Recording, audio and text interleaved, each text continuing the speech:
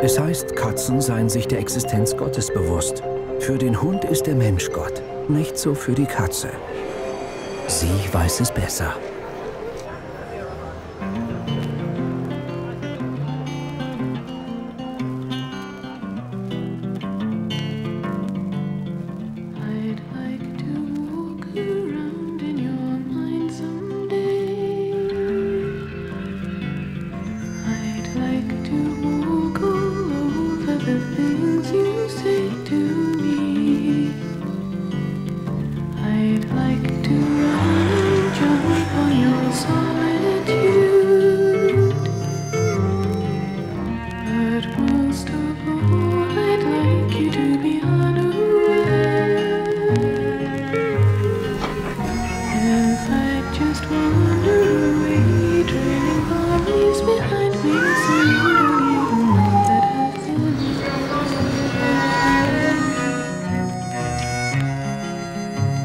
Katie von Katzen und Menschen.